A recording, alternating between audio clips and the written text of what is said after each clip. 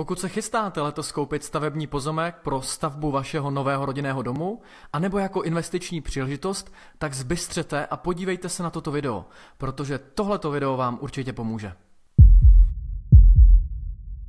Dobrý den, moje jméno je Martin Tesárek a od roku 2010 jsem realitní makléř a od roku 2014 i realitní investor. Já vás vítám u svého druhého realitního webináře a pojďte se se mnou dneska po hlavě vrhnout do tématu, kterým je stavební pozemek. Jak správně koupit stavební pozemek pro stavbu rodinného domu? Proč jsem si vybral zrovna tohle téma? Protože kolem stavebních pozemků koluje strašně moc jako mýtů a polopravd. Tak schválně. Jak si ověříte, zda je stavební pozemek nebo není stavební? Spoustu lidí odpovídá, a řekl bych tak jako 95%, že tohle to zjistí na katastru nemovitostí. No a aby taky ne, i spoustu jako renomovaných portálů, eh, blogů a webových stránek nám dává právě tyhle ty návody. Všichni vám říkají, pokud si chcete ověřit, zda je stavební pozemek stavební nebo ne, podívejte se do katastru nemovitostí. A to je ta jako největší chyba, nebo největší omyl, který můžete udělat, protože o tom, zda je pozemek stavební nebo ne, nás katastr nemovitosti neinformuje a ani nikdy v minulosti neinformovala. A i přesto rádoby odborníci vám budou říkat, podívej se do katastru, podívej se, co je tam napsáno. No a za mnou pak chodí lidi na prohlídky a říkají, pane Tesárku, ale vy to inzerujete jako stavební pozemek, ale na katastru je psáno trvalý travní porost, nebo zahrada, nebo vinice, nebo les, nebo cokoliv dalšího. No ale tohle to je největší omyl, protože tyhle ty uh, názvy, které jsem vymenoval, uh, trvalý travní porost, zahrada, les, vinice, louka, jsou pouze druhy pozemku a ty nic nesvě- nenapovídají o tom, jestli se na pozemku dá stavbět nebo ne.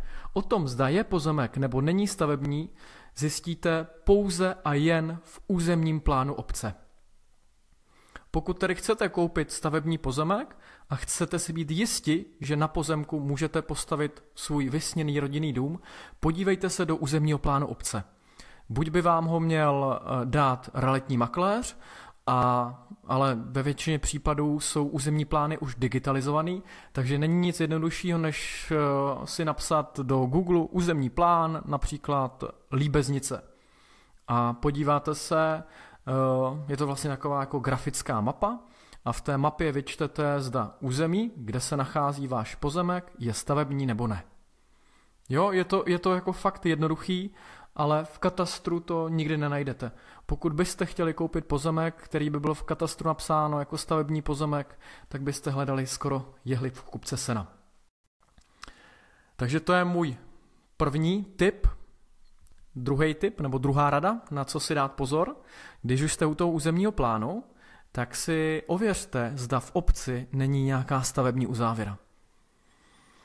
Tohle jsou taky informace, které vám moc jako realitní makléři ani majitelé do inzerátu nenapíšou, ale je to jako ta nejzásadnější věc, jo. Protože pokud kupujete stavební pozemek s tím, že tam chcete ještě letos nebo za rok stavět rodinný dům a co nejdřív bydlet, a v té obci by bylo v tom daném území stavební uzávěra, tak vy nemůžete stavět. Stavební uzávěra vzniká většinou tak, že daná obec roste jako rychlej, eh, než bylo v minulosti naplánováno a přestávají stíhat jako infrastruktury, jako je třeba jako škola, školka, po případě komunikace, po případě čistička odpadních vod, po případě jako e, není tam dostatečný e, zdroj pitné vody, takže obec řekne, hele, dáme stop stav na nějaký období, vyřešíme tyhle ty věci, postavíme nový komunikace, postavíme novou školku, eh, naddimenzujeme čističku odpadních vod a až poté zase povolíme novou výstavbu. Takže stavební uzávěra, zjistíte to buď na internetu, anebo vemte telefon, zavolejte na místně příslušný stavební úřad a tam vám to řeknou. Jdeme dál, na co si dát pozor při koupi stavebního pozemku, abyste neudělali chybu. Regulativy. Znáte regulativy? Každá obec uh, vám v rámci územního plánu řekne, jak by vaše budoucí stavba vašeho rodinného domu měla vypadat. Pokud se teda vysníte rodinný dům, který bude mít eh, čtyři patra a bude mít plochou pultovou střechu, tak eh, můžete v některých obcích narazit. Protože regulativy říkají například to, jaký sklon bude mít střecha, eh, jak vysoká bude budova, kolik bude mít podlaží, jaká bude zastavěnost daného pozemku. Dokonce jsem se nejednou setkal s tím, že obec definuje, jakou barvu má mít vaše střecha. Takže pokud chcete nějaký jako hezký, moderní, funkcionalistický dům s plochou střechou, po případě se sedlovou střechou, ale která bude černá, tak obec vám může v rámci regulativů uh, přikázat, že vaše střecha má být třeba červená, tak aby se nenarušil ráz té obce a, a krajiny. Jo, takže to jsou, to jsou regulativy, které vám i třeba říkají, jak má být dům orientovaný, uh, kde má být uh, například vjezd na ten pozemek, pokud s pozemkem nikdo, nikdo nesou, nesousedí, například další stavební parcely.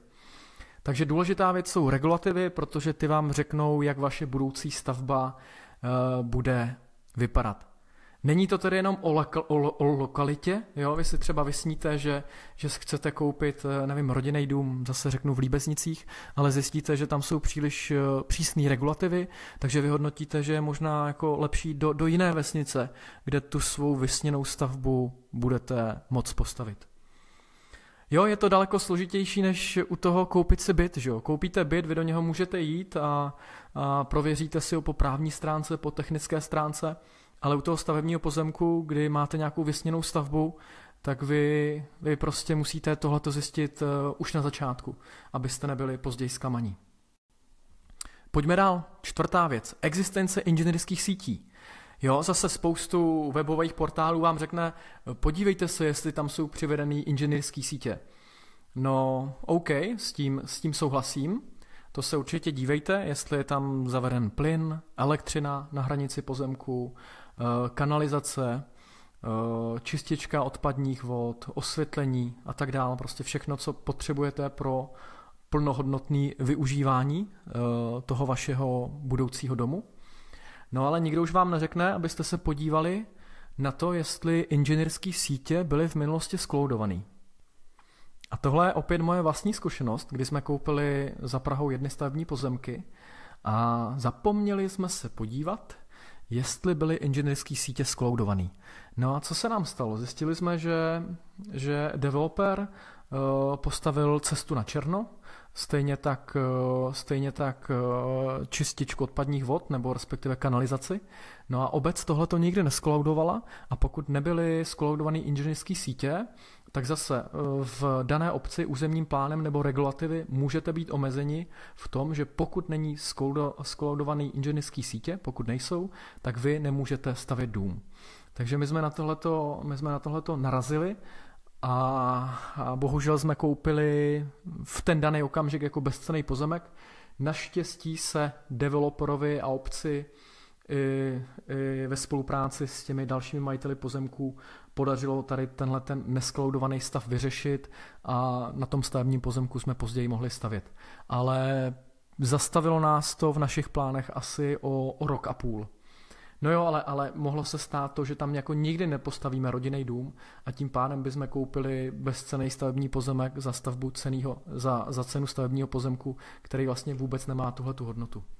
Takže prověřujte si i kolaudaci inženýrských sítí, řeknou vám to určitě zase na stavebním úřadu nebo na obci.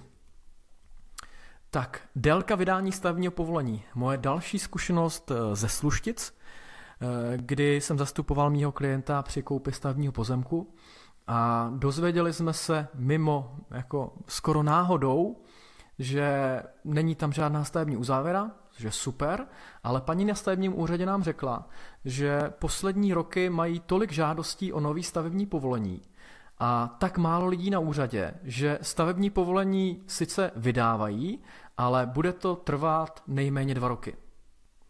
A teď si to celý sečtěte. Koupíte stavební pozemek, třeba 3-4 měsíce vám trvá fáze hledání, eh, než se stanete majiteli, další dva měsíce. Eh, v ten okamžik začnete řešit projekt. Stavební firmy v dnešní době nemají moc čas, jsou přetížený, naplněné kapacity, takže projekt budete dělat třeba půl roku nebo rok. Pak s tím projektem uh, budete vyběhávat dotčený orgány, stavební úřad a než získáte stavební povolení, tak konkrétně v tomto případě dva roky, jo, což jsme na, na jako třech nebo třech a půl letech. No a pak samotná realizace stavby, že jo, která taky zabere půl roku nebo rok. No a jsme rázem jako od té doby, kdy jste koupili stavební pozemek, do té doby, než bydlíte jako třeba čtyři, možná jako čtyři a půl roku. Proto moje doporučení vždycky se na stavebním úřadě ptejte, jaká je obvyklá délka vydání stavebního povolení. Protože pokud je vaším cílem jako bydlet i hned, nebo udělat nějaký jako development, investiční záměr, s tím, že koupím, eh, rychle udělám stavební povolení, rychle postavím a pak prodám se ziskem, tak tohle by vám mohlo, tahle ta uh, informace, kterou nemáte, by vám mohla zkomplikovat vaše investiční plány. Uliční čára. Hodně zase spoustu lidí podceňuje a neví. Víte, co je to uliční čára? Zase v rámci územního plánu je každý, nebo může být každý pozemek omezen takzvanou uliční čárou a e, před touto čárou nesmí stát žádná stavba. To znamená, pokud jste zamýšleli postavit nějaký dům, který bude na hranici pozemku a bude mít vzadu velkou zahradu, tak vy pak můžete být překvapeni, protože uliční čára vás limituje třeba 20 metry, kdy nesmíte stavit stavbu, pak samotná stavba a pak až zahrada. Takže vaše zahrada může být třeba menší o 20 metrů a mít nějakou předzahradu, kterou prakticky jako nevyužijete. Jo, takže dívejte se i na, i na uliční čáru. No a za osmé ochraná pásma. Pokud bylo vaším cílem bydlet někde kousek od lesa nebo kousek od vody, taková ta jako idelka, tak všechno super, jenom nezapomeňte, že jsou tam ochranný pásma. E, například les, pokud se nepletu, tak má asi nějakých 30 metrů, kdy nemůžete stavbu postavit 30 metrů od hranice lesa. Ochranný pásma dále můžou být třeba elektrický rozvody e, nebo plynovod. A tam záleží na, e, na, teď nevím, jak to přesně popsat, ale na napětí mám pocit té elektřiny a na, a na tom a na tom plynovodu, teď, teď nevím přesně, jak to vysvětlit, ale vím, že u toho plynovodu tam může být ochranný pásmo až jako nějakých jako 200 metrů, kdy nemůžete postavit žádnou stavbu. No ale pozor na to, ty elektrické dráty, uh, řeknete si, podíváte se, že jo, kolem vás žádný dráty nejsou, je to super, no ale pozor na to, protože některé elektrické dráty můžou výst i pod uh, samotným pozemkem. Takže zjišťujte, i pokud pod vaším pozemkem nejsou elektrické dráty, které byly v minulosti přemostěné právě do země. Jo, takže ochranný pásma, další věc, která by vám mohla zkomplikovat stavbu vašeho vysněného rodinného domu. Doufám, že byl pro vás tady tenhle ten návod cenej. Jsou to moje zkušenosti, je to moje praxe, pokud jsem se někde zmílil v těch číslech, v těch ochranných pásmech, tak mi to prosím odpuste, ale nemám tyhle ty věci v hlavě.